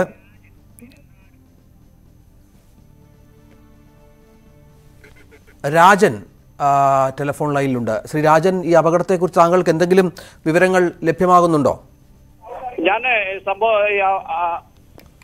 ഈ അപകടം നടന്ന സ്ഥലത്ത് തന്നെയുണ്ട്. എന്റെ പേര് രാജൻ എന്നാണ്. പിന്നെ നിലയ്ക്കൽ കടിച്ചതിന് ശേഷം നമ്മൾ എരുമേലിക്ക് പോകുന്ന വഴിക്ക് ഇലവുങ്കൽ രണ്ട് വളവ് അടിവശത്താണ് വലിയ അപകടം ഉണ്ടായിരിക്കുന്നത്. ഏതാണ്ട് അറുപത്തിരണ്ടോളം വലിയ പ്രായമുള്ള സ്വാമിമാരും അതുപോലെ തന്നെ എട്ടോ ഒൻപതോ കുട്ടികൾ ഉണ്ടെന്നാണ് അറിയപ്പെടുന്നത്. ശബരിമല മകരവിള അല്ല. രണ്ടാം ദിവസമായ ഇന്ന് തിരിച്ചു മല ചവിട്ടിയിട്ട് തിരിച്ചു പോകുന്ന സ്വാമിമാർക്കാണ് ഈ അപകടം ഉണ്ടായിരിക്കുന്നത്. ഈ സ്വാമിമാരെ തഞ്ചാവൂരിൽ നിന്നും എത്തിയിട്ടുള്ള സ്വാമിമാരാണ്. ഏറ്റവും കൂടുതൽ എല്ലാവർക്കും എല്ലാ ഹലോ? ഈ വലിയ കൊക്കയിലേക്കാണോ ബസ് മറിഞ്ഞത്? ആ, റോഡിന്റെ വലത് സൈഡ് വലിയ ഒരു വലിയ കൊക്കയല്ല. എങ്കിൽ തന്നെ റോഡിൽ നിന്നും കാണാവുന്ന രീതിയിൽ തന്നെ റോഡിൽ തന്നെയാണ് റോഡിന്റെ അടിവശത്തോട്ടാണ് മറിഞ്ഞിരിക്കുന്നത്. തലകീഴായി കിടക്കുന്ന ബസ്സാണ്. ആ വാഹനത്തിൽ നിന്നും കലിങ്ങിന്റെ ഒരു കുഴിയാണ്. ആ കുഴിയിൽ നിന്ന് വണ്ടിയുടെ ഒരു വശം പൊളിച്ചാണ് രക്ഷാപ്രവർത്തനം നടത്തിക്കൊണ്ടിരിക്കുന്നത്. ഈ യാത്രക്കാരെ എല്ലാവരും എല്ലാവരും പുറത്തേക്ക് വന്നോ? യാത്രക്കാരെല്ലാവരും പുറത്തെത്തിയോ? യാത്രക്കാരെ എല്ലാവരെയും പുറത്ത് എത്തിച്ചിട്ടുണ്ട്. ആംബുലൻസിന്റെ ഒക്കെ കുറവുണ്ടായിരുന്നു എങ്കിലും ആഹ് സമീപപ്രദേശത്തു നിന്നുള്ള എല്ലാ വാഹനങ്ങളും നമ്മുടെ നാട്ടുകാരും ഒക്കെ ചേർന്നുകൊണ്ട് രക്ഷാപ്രവർത്തനം നടത്തിക്കൊണ്ടിരിക്കുകയാണ്. ഈ പരിക്ക് ഗുരുതരമാണോ ആരുടെയെങ്കിലും? പരിക്ക് ഡ്രൈവറിന്റെ പരിക്ക് അല്പം ഗുരുതരമാണെന്നാണ് നമുക്ക് അറിയാൻ സാധിക്കുന്നത്. അതുപോലെ തന്നെ പ്രായമുള്ള ഒത്തിരി സ്വാമിമാരുണ്ട്. അവർക്കൊക്കെ വളരെ അസ്വസ്ഥതയുണ്ട്.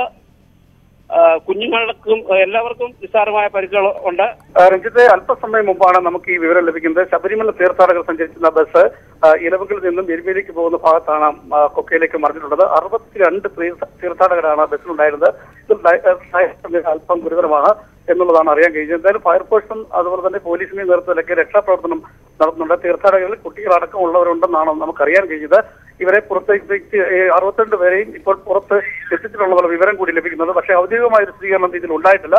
ബസ് നടന്നിട്ടുണ്ട് പക്ഷെ എത്ര പേർക്ക് പരിക്കുണ്ടായിട്ടുണ്ട് എത്ര പേരുടെ നില ഗുരുതരമാണ് എന്ന കാര്യത്തെക്കുറിച്ച് ഇതുവരെ വ്യക്തമായിട്ടില്ല. മറ്റു വാർത്തകളിലേക്ക് ശബരിമല തീർത്ഥാടകർ സഞ്ചരിച്ച ബസ് മറിഞ്ഞ് അപകടം. പത്തനംതിട്ട ഇലവുങ്കലിലാണ് അപകടമുണ്ടായത്. അറുപത്തിനാല് യാത്രക്കാരാണ് ബസ്സിൽ ഉണ്ടായിരുന്നത്. ഡ്രൈവറുടെ നില ഗുരുതരമാണ്. മന്ത്രി P Prasad Ranni M L A Pramod Narayanan അടക്കമുള്ളവർ സ്ഥലത്തെത്തി. വിവരങ്ങളുമായി ശശിനാരായണനൊപ്പം ചേരുന്നു. ശശിനാരായണൻ ഡ്രൈവറുടെ നില ഗുരുതരമാണ്. മറ്റു യാത്രക്കാരുടെ ആരോഗ്യനില എങ്ങനെ? കൃഷിരാജ് അറുപത്തിനാല് പേരാണ് ഈ ബസ്സിലുണ്ടായിരുന്നത്. ഇതിൽ ഡ്രൈവർ ഈ അപകടത്തിൽ ഡ്രൈവർക്കാണ് ഗുരുതരമായ പരിക്ക് പറ്റിയിട്ടുള്ളത്. മറ്റുള്ളവരുടെ പരിക്ക് സാരമായ പരിക്കുകൾ മാത്രമാണുള്ളത്. അറുപത്തിനാല് പേരിൽ ഒൻപത് കുട്ടികളുണ്ടായിരുന്നു ഈ പരിക്കേറ്റ ഡ്രൈവറെ കോട്ടയം മെഡിക്കൽ കോളേജ് ആശുപത്രിയിൽ പ്രവേശിച്ചിട്ടുണ്ട് ബാക്കിയുള്ള തീർത്ഥാടകരെ മറ്റ് ആശുപത്രിയിലാണ്. അതായത് മുപ്പത്തഞ്ച് പേരെ പത്തനംതിട്ടയിലും അഞ്ചു പേരെ കോട്ടയം മെഡിക്കൽ കോളേജിലും പതിനഞ്ച് പേരെ നിലയ്ക്കൽ ആശുപത്രിയിലുമാണ് ഈ അപകടത്തെ തുടർന്ന് പ്രവേശിച്ചിട്ടുള്ളത് എന്തായാലും ഇവരുടെ പരുക്കുകൾ വളരെ ഗുരുതരമായ രീതിയിലല്ല. ഈ ഡ്രൈവർക്ക് മാത്രമാണ് ഈ അപകടത്തിൽ പരുക്ക് ശശിനാരായണൻ എങ്ങനെയാണ് ഈ അപകടം ഉണ്ടായത്? എവിടെ നിന്ന് എവിടേക്ക് പോയ ബസ്സായിരുന്നു? പക്ഷേ അത് ശബരിമല തീർത്ഥാടനം കഴിഞ്ഞതിന് ശേഷം ഇവർ തിരിച്ചു പോവുകയായിരുന്നു തഞ്ചാവൂർ തമിഴ്നാട് തഞ്ചാവൂർ സ്വദേശികളാണ് ഈ തീർത്ഥാടകർ അവർ ഇന്നലെയാണ് ശബരിമല എത്തിയത്. ദർശനം കഴിഞ്ഞ ശേഷം തിരിച്ച് മടങ്ങുന്ന വഴിയാണ് ഈ അപകടമുണ്ടായത്. ഇലവങ്കലിൽ നിന്നും എരുമേലിക്ക് പോകുന്ന വഴിയിൽ നാറാണത്തോട് സമയമാണ് ഒരു വലിയ വളവുണ്ട് ഇവിടെ. കുത്തിന് ഇറക്കമുണ്ട് ഈ ഇറക്കത്തിലാണ് ഈ ബസ് വന്ന സമയത്ത് നിയന്ത്രണം വിട്ട് കലങ്ങിന് സമയമുള്ള ഒരു കുഴിയിലേക്ക് മറിഞ്ഞത്. വലിയ താഴ്ചയുള്ള കുഴിയല്ല. ആദ്യം അത്തരം വാർത്തകൾ പ്രചരിച്ചു. സാധാരണ വലിയ താഴ്ചയുള്ള കുഴിയല്ല നിയന്ത്രണം വിട്ട് ബസ്സിന് നിയന്ത്രണം വിട്ട് ബ്രേക്ക് നഷ്ടപ്പെട്ടെന്നുള്ള വിവരമാണ് ഇപ്പോൾ മോട്ടോർ വാഹന വകുപ്പ് ഈ വാഹനത്തെ പരിശോധിച്ചതിന് ശേഷം നൽകുന്ന ഒരു പ്രാഥമിക വിവരം. അത്തരത്തിൽ ബ്രേക്ക് നഷ്ടപ്പെട്ട ഈ വലിയ കുടുംബളവിലോട് ചേർന്ന് തൊട്ടടുത്ത് മറിയുകയായിരുന്നു. ആ അപകടത്തിലാണ് ഈ- അറുപത്തിനാല് പേർക്കും നിസ്സാര ചില പരിക്കുകൾ ഉണ്ടായത് ഡ്രൈവർക്ക് മാത്രമാണ് ഇപ്പോൾ അതിൽ പരിക്ക് ഗുരുതരമായിട്ടുള്ളത് ഇത് ഇദ്ദേഹത്തെ കോട്ടയം മെഡിക്കൽ കോളേജിലാണ് പ്രവേശിച്ച് പ്രവേശിപ്പിച്ചിട്ടുള്ളത്. ബസ് ക്രെയിൻ ഉപയോഗിച്ച് ഉയർത്തിയതിനു ശേഷമാണ് ഇപ്പോൾ ആ വഴിയൊക്കെ ഗതാഗതം ഈ അപകടവുമായി ബന്ധപ്പെട്ട് കുറച്ച് നേരത്തേക്ക് കുറെ തടസ്സമുണ്ടായിരുന്നു. പക്ഷേ ഇപ്പം ഗതാഗതം വീണ്ടും പുനഃസ്ഥാപിച്ചിട്ടുണ്ട്. എന്തായാലും തീർത്ഥാടകർക്ക് ഈ വഴി കടത്തിവിടും വാഹനങ്ങൾ കടത്തിവിടുന്നുണ്ട് എന്തായാലും ഈ അറുപത്തിനാല് പേരെയും വിവിധ ആശുപത്രികൾ ജില്ലയിലെ പത്തനംതിട്ട ജില്ലയിലെയും അതുപോലെ കോട്ടയം മെഡിക്കൽ കോളേജിൽ അടക്കം ആശുപത്രികളിൽ പ്രവേശിപ്പിച്ചിട്ടുണ്ട് ശബരിമല തീർത്ഥാടകർ സഞ്ചരിച്ച ബസ് മറിഞ്ഞ് അപകടമുണ്ടായി. പത്തനംതിട്ട ഇലവുങ്കല്ലാണ് അപകടമുണ്ടായത്. തഞ്ചാവൂരിലേക്ക് പോകുന്ന ബസ്സായിരുന്നു തീർത്ഥാടകരുമായി. ഡ്രൈവറുടെ നില ഗുരുതരമാണ്. മറ്റു യാത്രക്കാരുടെ നില ഗുരുതരമല്ല. നിസ്സാര പരിക്കുകളുള്ളവരാണ് അധികവും. വിവരങ്ങൾ നൽകുകയായിരുന്നു ശശിനാരായണൻ. ബസ് അപകടത്തിൽ പരിക്കേറ്റവർക്ക് വിദഗ്ധ ചികിത്സ ഉറപ്പാക്കാൻ വേണ്ട ക്രമീകരണങ്ങൾ ഒരുക്കാൻ ജില്ലാ മെഡിക്കൽ ഓഫീസർക്ക് നിർദ്ദേശം നൽകിയെന്ന് ആരോഗ്യമന്ത്രി വീണ ജോർജ്. കോന്നി മെഡിക്കൽ കോളേജിലെ വിദഗ്ധ സംഘം പത്തനംതിട്ട ജനറൽ ആശുപത്രിയിലെത്തുമെന്നും മന്ത്രി അറിയിച്ചു. ഇലവുകളിലാണ് അപകടം ഉണ്ടായിട്ടുള്ളത് തഞ്ചാവൂരിൽ നിന്നുള്ള ഭക്തരുടെ സംഘമാണ്. ഒൻപത് കുഞ്ഞുങ്ങൾ ഉണ്ടായിരുന്നു എന്നുള്ളതാണ്. ജില്ലാ പോലീസ് മേധാവി നൽകിയ വിവരങ്ങളുടെ അടിസ്ഥാനത്തിൽ അറുപത്തിനാല് പേരാണ് ഈ ബസ്സിൽ ഉണ്ടായിരുന്നത് ഡ്രൈവർ ഉൾപ്പെടെ. ഡ്രൈവറുടെ കുറച്ച് ഇഞ്ചുറി ഉണ്ടെന്നും അറിയിച്ചിട്ടുണ്ട്. ഏതായാലും ആശുപത്രികൾ കോട്ടയം മെഡിക്കൽ കോളേജ് അതുപോലെ തന്നെ പത്തനംതിട്ട ജനറൽ ആശുപത്രി പത്തനംതിട്ട ജനറൽ ആശുപത്രിയിൽ കൊന്നി മെഡിക്കൽ കോളേജിൽ നിന്നുള്ള വിദഗ്ധ ഡോക്ടർമാരുടെ ഉൾപ്പെടെ സംഘം അവിടേക്ക് എത്തിച്ചേർന്നിട്ടുണ്ട്. കോട്ടയം മെഡിക്കൽ കോളേജിലും സജ്ജമാണ്. നിലവങ്കലിലേക്ക് ഇത്രയും ആളുകളിലെ ആംബുലൻസുകൾ അധികമായിട്ട് ആംബുലൻസുകൾ അവിടേക്ക് എത്തിക്കുന്നതിനും അപകടം നടന്ന ഉടനെ തന്നെ നിർദ്ദേശം നൽകിയിരുന്നു. അപ്പൊ അതിന്റെ അടിസ്ഥാനത്തിൽ എല്ലാവരെയും പുറത്തെടു എടുത്തിട്ടുണ്ട് എന്നുള്ളതാണ് എസ് പി അറിയിച്ചിട്ടുള്ളത്. അപ്പൊ അവരെ താഴേക്ക് അതായത് പത്തനംതിട്ടയിലേക്കും കോട്ടയത്തേക്കും ഒക്കെ ഷിഫ്റ്റ് ചെയ്യുന്നതിന് വേണ്ടിയിട്ടുള്ള നടപടികൾ നടക്കുകയാണ്. അവർ ഏറെ ആളുകളെ ആവശ്യം അതായത് ട്രീറ്റ്മെന്റ് ചികിത്സ ആവശ്യമായിട്ടുള്ള ആളുകളെ താഴേക്ക് മാറ്റി അവർ താഴേക്ക് കൊണ്ടുപോവുകയാണ്. അപകടത്തിന് ദൃക്സാക്ഷിയായ സുനിൽകുമാർ എന്നയാളുടെ പ്രതികരണം കേൾക്കാം. നേരിൽ കണ്ടത് ഞങ്ങളുടെ മുമ്പിലായിരുന്നു വണ്ടി ഉണ്ടായിരുന്നത്. അപ്പോൾ ഞങ്ങൾ ഏതാണ്ട് ആ ബസ് നിൽക്കുന്നതിന്റെ അവിടെ എത്തുമ്പോൾ ബസ് ഇങ്ങനെ നേരെ അങ്ങോട്ട് പോകുന്നതാണ് കാണുന്നത്. ഇതിലൂടെ. ഇത് ഉറങ്ങിപ്പോയതാണോ എന്താണെന്നറിയില്ല. എന്റെ റൈറ്റിലൂടെ പോകുന്നതാണ്. വണ്ടിയുടെ ഓണിങ്ങനെ അടിച്ചു വെക്കുന്നുണ്ട്. ഞങ്ങളവിടെ കൊണ്ട് നിർത്തി ഇറങ്ങി ഓടി വരികയായിരുന്നു. ഇത് വന്ന വഴിക്ക് രണ്ടുപേരും കൂടി പോയി. ഫ്രണ്ടിൽ നിന്ന് ഡ്രൈവറെ ഡ്രൈവർ കുറച്ച് സീരിയസ് ആയിരുന്നു. അപ്പം ഡ്രൈവറുടെ സീറ്റ് പൊളിച്ചെടുത്തിട്ടാണ് രണ്ടുപേർ പുറത്തെടുത്തു ഞങ്ങൾ ഇതായിട്ട് ഗ്ലാസ് പൊട്ടിച്ചിട്ട് അകത്ത് കയറി. അകത്ത് കയറി അകത്തുള്ള ആളുകളെ മുഴുവനും താഴെ നിന്ന് കുറെ ഹൈറ്റിലാണ്. ഒരാൾ പക്കത്തിൽ ഹൈറ്റിലാണ് ഈ കുഴി കിടക്കുന്നത്. വണ്ടി. വണ്ടി ഒരാൾ പൊക്കത്തിൽ കുഴിയിലാണ് ഉള്ളത് അപ്പൊ കുഴിയിൽ നിന്ന് ഞങ്ങൾ താഴെ നിന്ന് ഓരോരുത്തർ എടുത്തുകൊണ്ട് വരാം. അവിടെ ഇറങ്ങാൻ കിട്ടിയില്ല ഭയങ്കര ഇതായിരുന്നു ഭയങ്കര ബുദ്ധിമുട്ടായിരുന്നു. റിസ്ക് ആയിരുന്നു അതിന്റെ ഉള്ളിലൂടെ പോയി എടുത്തുകൊണ്ട് ആ രണ്ട് മൂന്ന് പേരോട് പൊക്കി കൊടുക്കുന്നു. മുകളിൽ നിന്ന് അവിടെ എടുക്കുന്നു. വിളിച്ചു. അപ്പൊ തന്നെ ഞാൻ ആക്സിഡന്റ് ആയി ഏറ്റവും ഫസ്റ്റ് തന്നെ ഞാൻ നൂറ്റി പത്തൊമ്പത് വിളിച്ചു. പോലീസിനെ വിളിച്ചു. പോലീസിനെ വിളിച്ചു. ആ, പോലീസിനെ വിളിച്ച് പോലീസ് അവിടെ നിന്ന് ഇവിടെ എത്തണമല്ലോ. ഇത്ര സമയമുണ്ടല്ലോ. വിളിച്ചൊരു കറക്റ്റ് പത്ത് മിനിറ്റ് കൊണ്ട് അവരോട് എത്തും. അവർ കറക്റ്റ് എത്തി. സമയം ഒരു തമിഴ്നാട്ടിലാണ് തഞ്ചാവൂർ തമിഴ്നാട്ടിൽ നിന്നാണ് അവർ പറഞ്ഞത്. മയിലാടുതുറ. ഞങ്ങളൊരു നാലോളം കുട്ടികൾ നാല് ഒൻപത്- കുട്ടികൾ ഒൻപത് കുട്ടികളുണ്ട്. ഒമ്പത് കുട്ടികളിൽ നാല് കുട്ടികളെയാണ് ഞങ്ങൾ പരിക്ക് കൂടുതൽ ചോര ഞങ്ങൾ എടുത്തുകൊണ്ടിരുന്ന വെച്ചാൽ താങ്ങി കൊണ്ടുവരിക. കൂടുതൽ കൂടുതൽ പരിക്കുകൾ കണ്ടില്ല. പക്ഷെ ഒരു എട്ടോളം പേര് വല്ലാതെ പൊട്ടും കൈയൊക്കെ ഇതായിട്ട് എടുക്കാൻ പറ്റാതെ കുറച്ച് പേരുണ്ടായിരുന്നു ഇടവേളയ്ക്ക് ശേഷം മറ്റു വാർത്തകൾ. മറ്റു വാർത്തകളിലേക്ക് കേരള സർവകലാശാലയിൽ പ്രസവിച്ച് എട്ടാം നാൾ യുവതിയെ വിളിച്ചു വരുത്തിയ സംഭവം അതീവ ഗൗരവമെന്ന് രജിസ്ട്രാർ. നടപടികൾ അന്തിമഘട്ടത്തിലാണെന്നും രജിസ്ട്രാർ പറഞ്ഞു. വ്യത്യസ്തമായ അതിനെ അതീവ ഗൗരവത്തിൽ തന്നെ സർവകലാശാല കണ്ടു. അതിന്റെ അന്തിമഘട്ടത്തിലാണ്. അതിന്റെ അന്തിമഘട്ടത്തിലാണ് ഇപ്പോൾ അത്. രാഹുൽ ഗാന്ധിയെ അയോഗ്യനാക്കിയതിൽ പാർലമെന്റ് ഇന്നും പ്രക്ഷുബ്ധമായി. ലോക്സഭാ നടപടികൾ ആരംഭിച്ച ഉടനെ T N Prathapan Hibi Eden Karur M P Jothimani എന്നിവർ നടുത്തളത്തിൽ ഇറങ്ങി പ്രതിഷേധിച്ചു. അംഗങ്ങൾ ചെയറിന് നേരെ പേപ്പർ കീറിയെറിഞ്ഞു. ബഹളത്തെ തുടർന്ന് ലോക്സഭാ രാജ്യസഭാ നടപടികൾ തടസ്സപ്പെട്ടു. അതേസമയം മോദി പരാമർശത്തിൽ രാഹുൽ ഗാന്ധി മാപ്പ് പറയണമെന്നാവശ്യപ്പെട്ട് ബി ജെ പി എംപിമാർ പാർലമെന്റിലെ ഗാന്ധി പ്രതിമയ്ക്ക് മുന്നിൽ പ്രതിഷേധിച്ചു. രാഹുൽ ഒ വിഭാഗത്തിലുള്ളവരെ അപമാനിച്ചു എന്നാണ് ആരോപണം. ഔദ്യോഗിക വസതി ഒഴിയണമെന്നാവശ്യപ്പെട്ട് നോട്ടീസ് നൽകിയതിന് പിന്നാലെ വസതി ഒഴിയുമെന്ന് രാഹുൽ ഗാന്ധി ലോക്സഭാ സെക്രട്ടേറിയറ്റിനെ അറിയിച്ചു. ഏപ്രിൽ ഇരുപത്തിരണ്ടിന് മുൻപ് വസതി ഒഴിയുമെന്നും രാഹുൽ ഡെപ്യൂട്ടി സെക്രട്ടറി മോഹിത് രാജിന് നൽകിയ കത്തിൽ വ്യക്തമാക്കി. രാഹുലിന്റെ അയോഗ്യതാ വിഷയത്തിൽ ലോക്സഭാ സ്പീക്കർക്കെതിരെ പ്രതിപക്ഷം അവിശ്വാസ പ്രമേയം കൊണ്ടുവന്നേക്കും. സഭയിൽ പക്ഷപാതപരമായി പെരുമാറുന്നു എന്നാരോപിച്ചാകും നീക്കം. അടുത്ത ആഴ്ചയോടെ നോട്ടീസ് നൽകിയേക്കുമെന്നാണ് റിപ്പോർട്ട്.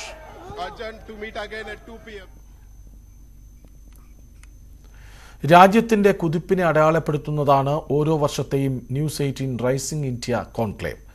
ഇക്കുറിയും ഞങ്ങൾ ഏറെ പ്രതീക്ഷയോടെയും ആവേശത്തോടെയുമാണ് റിയൽ ഹീറോസ് എന്ന പ്രമേയത്തിൽ റൈസിംഗ് ഇന്ത്യയ്ക്ക് ഒരുങ്ങുന്നത്. രാജ്യത്തിന് അഭിമാനമായ വ്യക്തികളെ ലോകത്തിന് മുന്നിൽ പരിചയപ്പെടുത്തുകയാണ് ഇക്കുറി. നമ്മുടെ വികസന കുതിപ്പിന് വേഗം കൂട്ടുന്ന നവീന മാതൃകകൾ സൃഷ്ടിച്ചവരെ രാജ്യമെങ്ങുമുള്ള ന്യൂസ് എയ്റ്റീൻ റിപ്പോർട്ടർമാർ പ്രേക്ഷകർക്ക് മുന്നിലെത്തിക്കുകയാണ്. ജലസംരക്ഷണ രംഗത്ത് മുന്നേറ്റം സൃഷ്ടിക്കുന്ന ജാർഖണ്ഡിലെ ദിലീപ് കുമാർ രവിദാസിനെ കുറിച്ചാണ് ഇന്ന്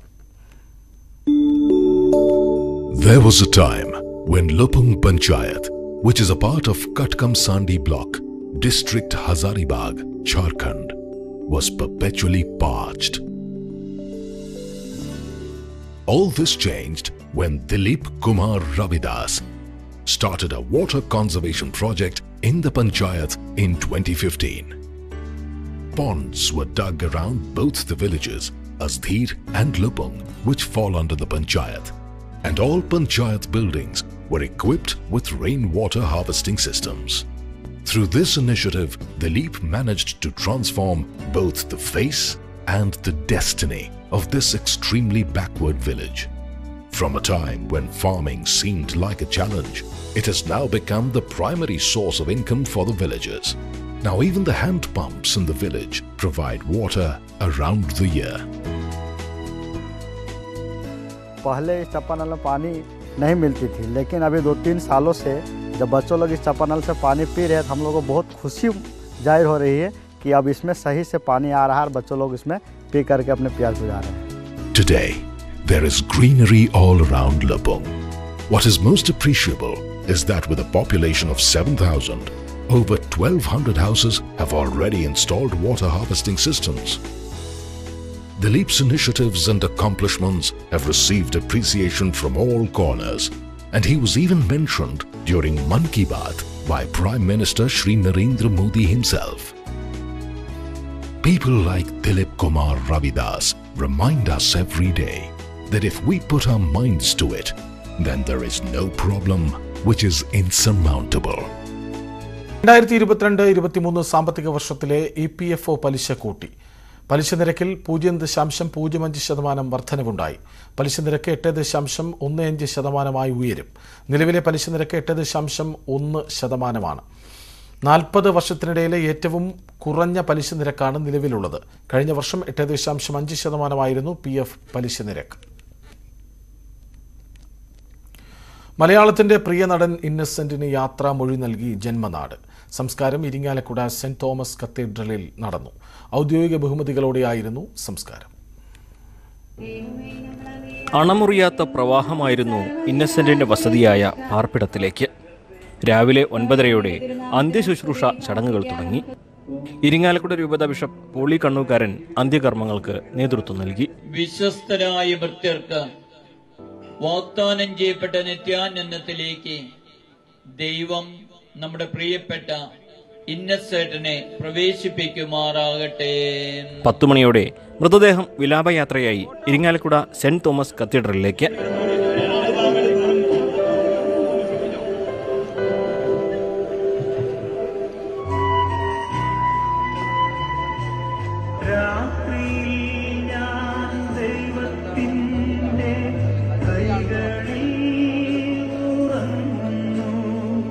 പള്ളിയിലെ പ്രത്യേക പ്രാർത്ഥനയ്ക്ക് ശേഷം ഭൗതിക ശരീരം സെമിത്തേരിയിലെത്തിച്ചു.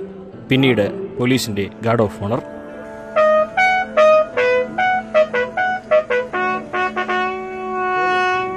ബന്ധുക്കൾ അന്ത്യചുംബനം നൽകി ഇന്നസെന്റിന് യാത്രാമൊഴിയേകി.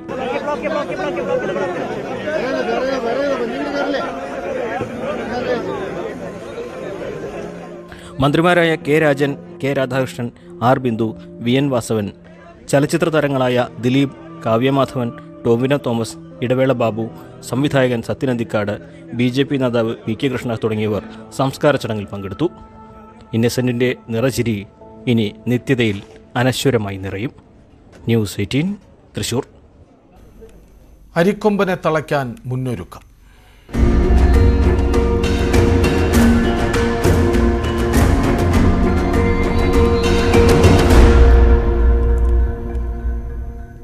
ഇടുക്കിയിലെ അരിക്കൊമ്പൻ ദൗത്യത്തിനായുള്ള വനംവകുപ്പ് സംഘങ്ങൾ രൂപീകരിച്ചു. എട്ടു സംഘങ്ങളായി തിരിഞ്ഞാണ് ദൗത്യം പൂർത്തിയാക്കുക. കേസ് കോടതിയുടെ പരിഗണനയിലായതിനാൽ മോക്ക് ഡ്രിൽ ഒഴിവാക്കാനാണ് തീരുമാനം. സി സി എഫ് മാരായ നരേന്ദ്രബാബു ആർ എസ് അരുൺ എന്നിവരുടെ നേതൃത്വത്തിൽ എട്ട് സംഘങ്ങളെയാണ് ദൗത്യത്തിനായി നിയോഗിച്ചത്. ഓരോ സംഘത്തിനും നിയോഗിക്കപ്പെട്ടിരിക്കുന്ന ജോലികൾ ഡോക്ടർ അരുൺ സക്രിയ വിശദീകരിച്ചു. ദൗത്യത്തിന് വേണ്ടിയുള്ള ഉപകരണങ്ങളും പരിചയപ്പെടുത്തി. ഓരോ സംഘത്തിന്റെ തലവന്മാരും നിൽക്കേണ്ട സ്ഥലവും നിശ്ചയിച്ചു. അരിക്കൊമ്പനെ മയക്കുവെടിവെച്ച് പിടികൂടിയാൽ കൊണ്ടുപോകുന്നതിന് വേണ്ടി ബലപ്പെടുത്തിയ വാഹനവും തയ്യാറാക്കി. കോടതി വിധി അനുകൂലമായാൽ മുപ്പതിന് രാവിലെ നാലു മണിക്ക് ദൗത്യം തുടങ്ങും. അരിക്കൊമ്പൻ നിലവിൽ ദൗത്യ മേഖലയ്ക്ക് സമീപത്താണുള്ളത്. ആന തിരികെ എസ്റ്റേറ്റ് മേഖലയിലേക്ക് പോകാതിരിക്കുവാനുള്ള നടപടികൾ വനംവകുപ്പ് സ്വീകരിച്ചിട്ടുണ്ട്. കോടതിയിൽ ആവശ്യമായ രേഖകൾ വനംവകുപ്പ് സമർപ്പിച്ചു. News eighteen Idukki. ബുള്ളറ്റിൻ പൂർണമാവുന്നു. നമസ്കാരം.